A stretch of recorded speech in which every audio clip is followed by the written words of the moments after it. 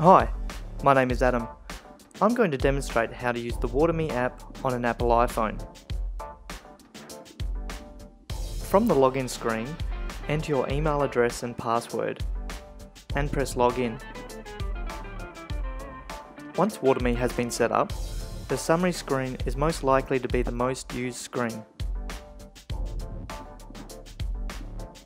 The summary screen is the main source of information on the summary screen, you'll find the WaterMe connection status, current active schedule, the overall finish time, the total water used, the current flow rate, average flow, error notification, and information relating to each zone.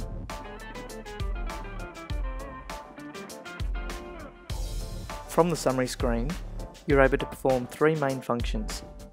Adding a zone, changing a zone image, and renaming a zone. To add a zone, press the zone button under the zone label. The added zone will display under the previous zone in numerical order. WaterMe allows you to add up to 10 zones.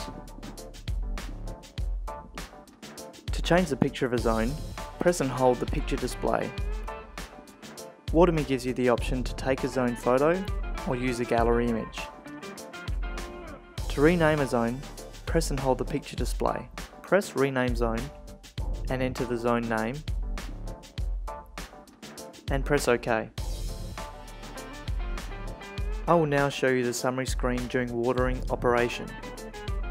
During operation, the master zone bar and active zone bar will display green. The overall finish time will display, total water used, the current and average flow rate, active zone icon during zone run, and the percentage of time remaining.